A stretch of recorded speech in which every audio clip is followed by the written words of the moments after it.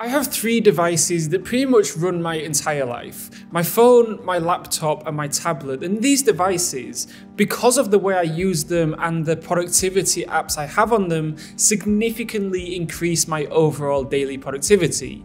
So I use my iPhone primarily for two things, my task list and my calendar, and I use Todoist and Google Calendar for those. I use my MacBook Pro to do the main bulk of my work, but the most important productivity apps on my MacBook are Notion, ExpressVPN, and Slack.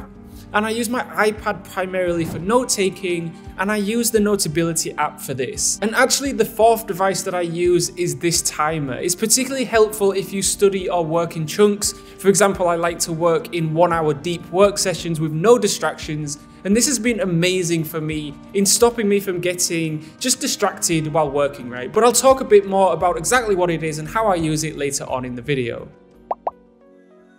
My phone is the first thing I pick up in the morning and the last thing I put down at night. But whereas most people use their phone as a procrastination device, I spend a lot of time turning my phone into a productivity device. I think in terms of improving productivity, it's important to design your home screen to promote productivity. So as soon as I turn my phone on, the app that takes up the most real estate and therefore the first thing I see is my task list. I realized very quickly that if I have my task list hidden away, I soon forget about it. And so the task list essentially becomes useless, but with Todoist widget, I have it right on my home screen. And that's one of the main reasons why I chose Todoist out of all the other hundreds of task lists because their widget is actually really helpful. I also like Todoist because you can automatically schedule tasks throughout the week. So for example, my team and I film these YouTube videos every Friday morning. So every Friday morning, that task will pop up on my task list without me having to do anything. And this happens every day of the week. So Wednesday is the day I film reels for Instagram. Monday is the day that I upload and optimize videos for YouTube. And all those tasks are automatically scheduled on my task list. And you can see here that this task is red because I've set it as a priority task because I have time constraints in that the task must be completed today. I also actually have two task lists, my main work task list, which is on my home screen,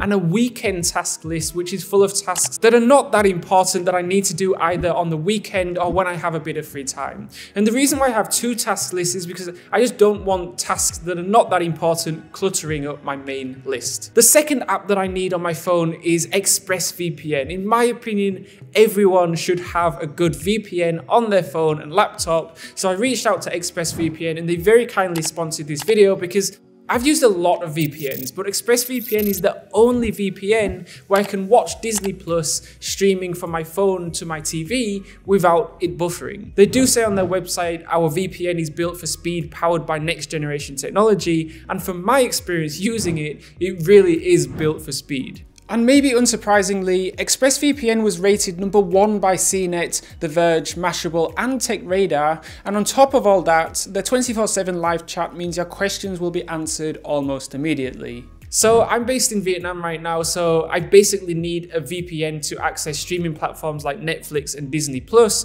but also I work in coffee shops a lot. So I mean, I'm working in a coffee shop at least maybe 20 hours a week. So having a VPN switched on in the background is just nice for peace of mind because the VPN can protect my IP address from being compromised when using public Wi-Fi connections. And that for me is a big deal considering my entire business is run from my laptop. And I do a lot of online banking and I have access to clients' bank details and things like that. So that's why I use a VPN when working in public areas. So if you want to check ExpressVPN out, which I really recommend you do, I'll leave a link in the description below. The third most important productivity app on my phone is my Google Calendar. I genuinely don't know what I'd do without a calendar app on my phone. All my appointments, meetings, and reminders go here. I see it almost like having having a personal assistant where I don't really need to remember anything. I just wake up, check my calendar at the beginning of the day so I know what I have going on that day. And you can also set the calendar to give you a notification one hour before an appointment or meeting so you don't even need to remember you have it. The calendar will remind you. Whereas my iPhone is my personal assistant, my second device, the MacBook Pro 14, is the workhorse where I actually get the work done. So I'm on my laptop at least six to eight hours a day, and Notion is by far my most used productivity app. I run both my work life and my personal life from there, from my weekly schedule to keeping track of all these YouTube videos I'm making, to my knowledge bank where I write down all the golden nuggets from the books I read and the podcasts I listen to so I don't forget them. The second productivity app I use is Slack, and Slack is my main work messaging app to communicate with my team, but also we moved the Project Elon Inner Circle to Slack, so everyone that bought our Transform Your Grades course has access to that community community.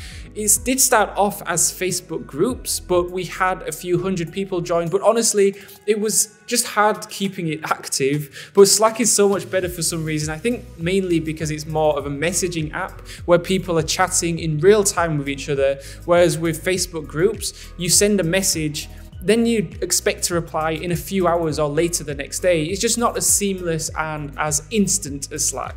And a shout out to Spotify as well. You can see here on my main menu, these are the apps I use the most in order of how often I use them, starting with Google Chrome, then Notion, then Spotify, and finally Slack. I almost always have background music playing with Spotify while I'm working. The third device I use is the iPad mini. Now, I originally bought the iPad Pro with the Magic Keyboard, but it was just so heavy and cumbersome carrying both my laptop and the iPad Pro around everywhere I go, and I realized that I was primarily using my iPad for note taking, usually when I'm on a Zoom call or some kind of meeting. So I downsized to the iPad mini, and it's so much better, it's lighter it's smaller, and just more manageable overall. And the app that I use the most by far is Notability. It's just a great note-taking app paired with the Apple Pencil. And the second most used app I use is the Amazon Kindle. I don't remember the last time I've actually read a physical book. It's probably two or three years now. I love how I can seamlessly highlight those golden nuggets of information within the book, which I can then go over later once I've finished reading the book to help kind of soak that information into my long-term memory.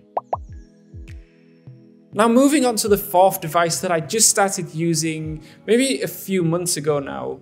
I like using the Pomodoro technique when working, so working for 25 minute chunks with 5 minute breaks in between. And I usually use apps such as Forest or Focus to do for these. However, at the same time, I don't like having my phone right there in front of me when I'm working. So I bought this small dedicated timer that sits next to my laptop as I'm working. And it's really good for keeping me focused because I can then hide my phone behind my laptop and all I have is the timer ticking down. It was literally about $10 and aesthetically it looks quite nice too. And on the back of the device, there's a silent mode that I can turn on, which is good for when I'm working in coffee shops so the alarm doesn't go off when the timer reaches zero. And it just flashes, which is far better. And by the way, I did mention Notion earlier. I have made a more detailed video on exactly how I use Notion to organize pretty much my entire life. You can click on the card on the screen to watch that. Alternatively, I made another video called my number one productivity hack, self-education. Self-education has genuinely changed my life. You can click on the card on the screen to watch that. And finally, do check out this video's sponsor, ExpressVPN, link in the description below.